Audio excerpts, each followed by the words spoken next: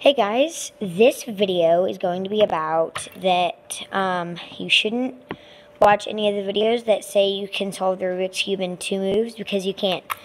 They do this and speed up the video, so they're getting views even though they're just wasting people's time. And I have tried it and I couldn't do it because it's fake. So, um, don't watch those videos. They say to go up and to the right, but it doesn't work. It just stays the same. It, it just, they speed up the video and do something else. So never watch any of those videos. And if you do try it and you just want to prove me wrong, try it, but it won't work. It just won't, okay?